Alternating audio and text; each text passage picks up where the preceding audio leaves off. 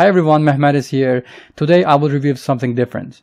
You already saw the title and the thumbnail, but did you know anything about this device? It is called a pen mouse and today, first time in my life, I'm gonna use a pen mouse and review it. Let's get started.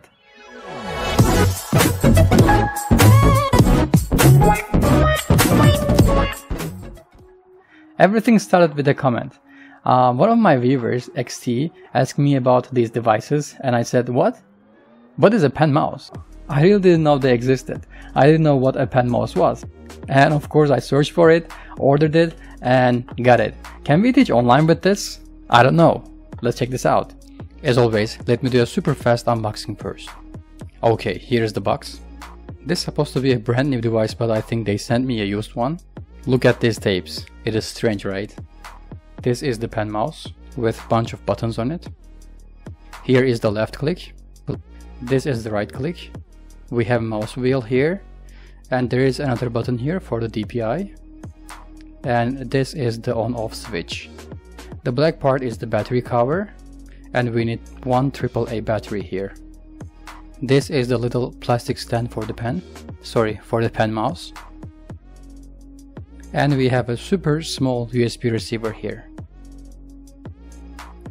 Okay, that's it. Let's see how it works. First of all, we need a AAA battery. Let me quickly place one here. It doesn't say which way to put, there are no minus and plus signs here, but I think this is the right way. It is working, let's test it. I'm using Microsoft OneNote right now when you see I'm pretty slow at this.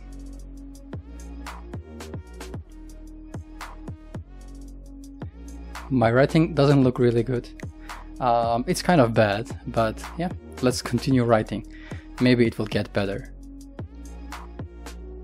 I actually tried writing with a wireless mouse before and I think I can get a better performance with a wireless mouse, but yeah, I will try, I will try, I will try and I will compare these two at the end. I want to tell you one thing guys, this looks like a stylus, but it is not a stylus so it is a wireless mouse and you cannot get a really good um, writing and drawing performance with this mouse. And the worst thing is you have to press and hold this left click button every time you want to write something. So uh, it's kind of hard. Now I will try um, writing with a wireless mouse guys and uh, let's see which one is better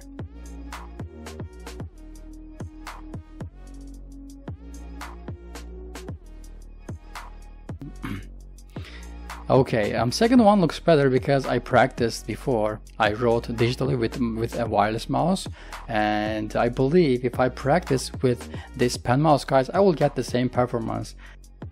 Okay guys, uh, when I saw this, my first impression was, wow, it looks cool. Kind of strange, but cool, right? But now, it's a big no for me. Um, I really like the design, it's good, but it's good if you want to use it as a mouse.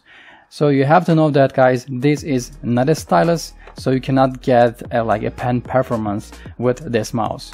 So if you want to draw or write something with this guys, um, probably you will get a same performance with your mouse. However, if you want to teach online with this, if you really want a pen mouse guys, you can use it. You saw my handwriting, it wasn't really bad so and if you practice maybe you will get used to it and you maybe you will get a better uh, performance. But the problem is with this with this um, pen mouse is you need to keep um, press pressing the left click button when you when you write. So it's kind of hard and you know and I don't like it. And if you still want to check this out guys I put the Amazon links in the description below and you can check uh, the prices if you want. Okay, that's it for today. I'll be with you in another video about online teaching. If you have any questions, don't forget to ask guys. Just comment below and I will um, respond as early as possible. Keep watching MathMathX. Goodbye.